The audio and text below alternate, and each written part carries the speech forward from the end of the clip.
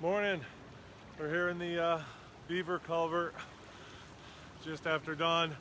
I say we because we got a special guest meditator, Garrett. Uh, that's the whole uh, preamble because we both have wet, frozen, numb hands from clearing out the beavers. So we're going to do a little meditation for that. I'm trying to speak loudly because all this rushing water that Garrett created by unplugging things is probably very loud. So this is what you always see on the videos.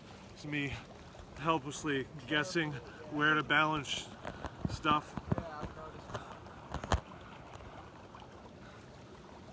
Yeah, that's not gonna really get you.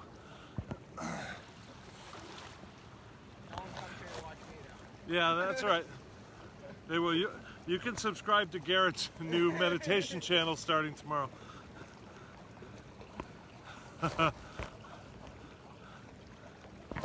that, that would kind of work if I can get it to stand up.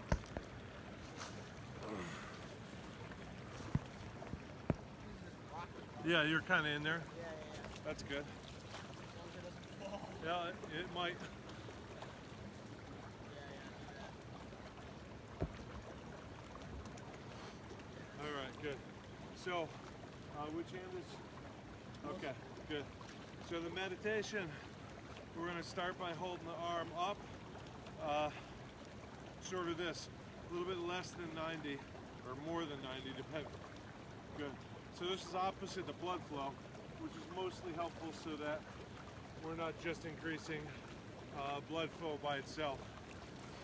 And what we want to do is first imagine the energy coming down from the heart of the palm. Good. Down into the heart of the palm, into the bowl of the pelvis. And as I do this, I'm sort of consciously hollowing the chest and then filling the chest like a rooster. Just a little, I'm not, not super exaggerated.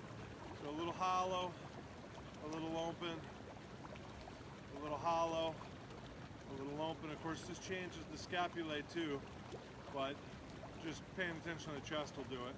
So I'm kind of imagining energy drain. You see these needles? They're like an asterisk. Oh, yeah. Kind of cool. So, the hollow of the palm to the bowl of the pelvis. Good. Next, I'm going to energize. Imagine that the bones, the furthest little bones on the fingers, are uh, levitating away from the next bones. So, like you have these five bones and they just kind of float up, you know, an eighth of an inch. You can imagine a half inch or something, you know. So I'm not actually muscularly reaching, but I'm kind of imagining those five bones just kind of floated away from their fingers a little. Good. Bring the right hand to the heart. Same thing, hollow in the heart of the palm. Good. As I breathe, I want to check in on the heart and maintain my mind on the, the bowl of the pelvis. The fingers are extending up. It's really nice to be yelled at for meditation. Everybody be calm, be relaxed, be quiet. That's it. You're almost enlightened.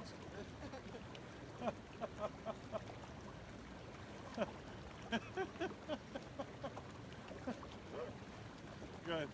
So we have the, so now the next two bones are also going to float away, but they won't bump into the first five bones. Those five bones move a little further away. Does that make sense? So there's just kind of a lot of space in the joints is the whole idea here, without muscularly reaching. Keep the fingers sort of expressed a little, so you have a sense of going up, right? So it's continuing to imagine the energy draining from the palm or the hand with that hollow palm into the bowl of the pelvis, hollow palm over the heart with the right hand, or in the left for Garrett. This is the other side.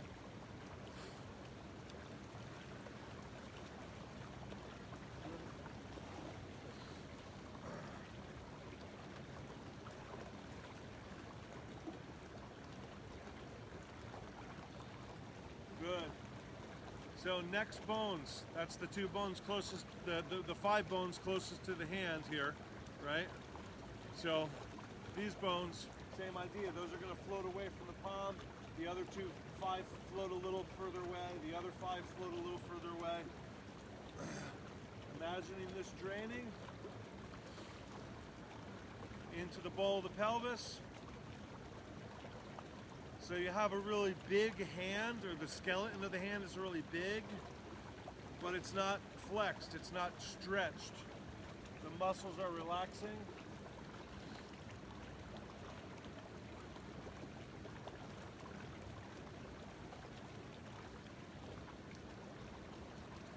Remember to continue to hollow the chest, expand the chest, hollow the chest, expand the chest. Now I'm going to do the same thing with the raised palm, right? So this is the chest now.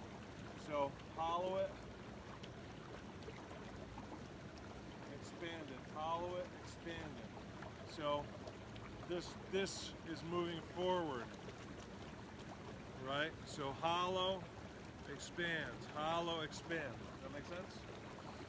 A little bit higher. Yeah. How does it feel? So when we started, I, I couldn't use this hand to start the live stream because it was so numb. and I couldn't really feel the phone or anything. This, this water is uh, quite cold.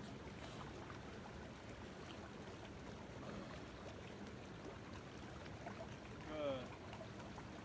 So we're matching the heart and the palm. The heart of the palm and the heart. Good.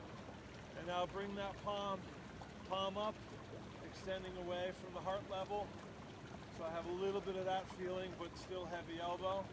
And now I'm gonna actually bring my mind out to the fingertips.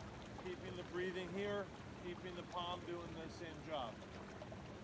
Right, you can see me?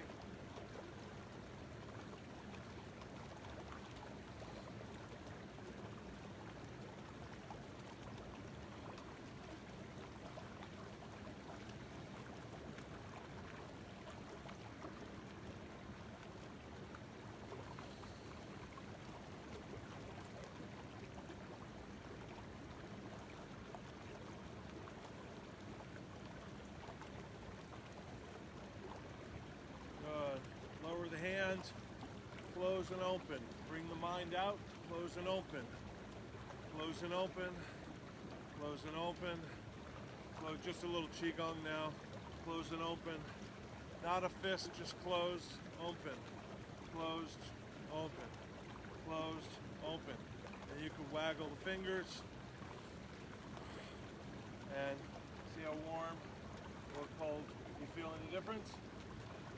Anything to say? Hurt when I was. Uh, kind of hurt a little bit when I was. Uh, When you started? Yeah. it Yeah. did. And got how does it feel better. now? Yeah, it got a lot better throughout.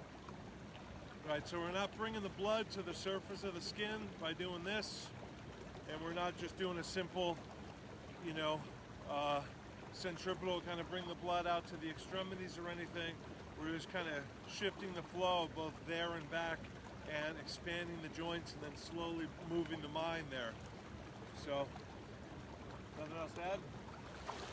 So, we'll give them a little tour of the beavers. So there's our outflow.